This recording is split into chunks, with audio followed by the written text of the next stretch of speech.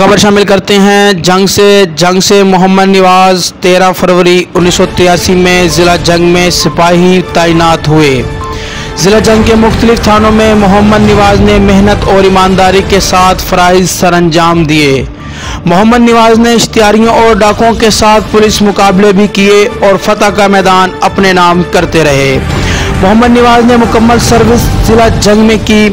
आखिर में इंस्पेक्टर के अहदे से रिटायर हुए। और अच्छी कारकर्दगी पर डीपीओ गयास गुल ने इनामत से नवाजते हुए रुखसत किया। कैमरामैन शेर खान के साथ अली अब्बास नकवी के आर वाई न्यूज़, जंग।